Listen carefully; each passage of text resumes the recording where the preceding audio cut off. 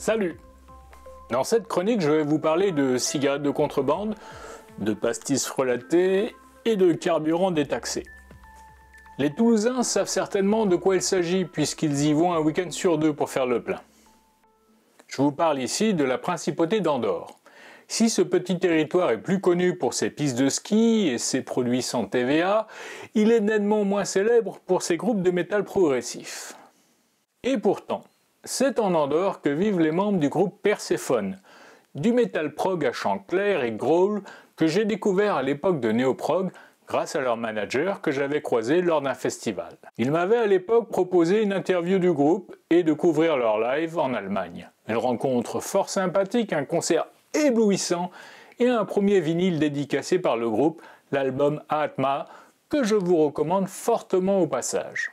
Je les avais un peu perdus de vue après un EP trop musclé à mon goût. Vous savez, quand ça tabasse et que ça gueule en même temps. Mais à l'annonce de la sortie de leur nouveau LP, j'avais envie de renouer avec la formation.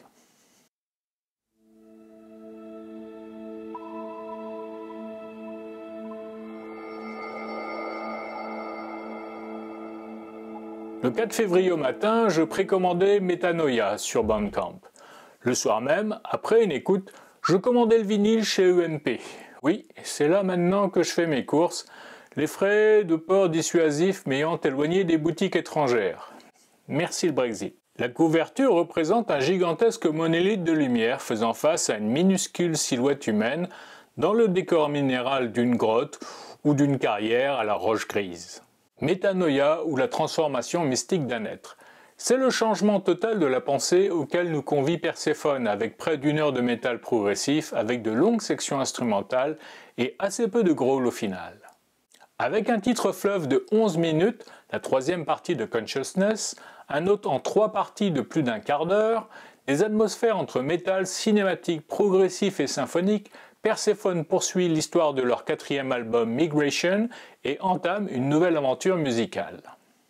Entre le chant clair de Enar Solberg et de Miguel Espinosa se glissent les rares explosions de growl de Mark Martins, comme dans Architecture of the One, Merkaba ou Anabasis Part 2.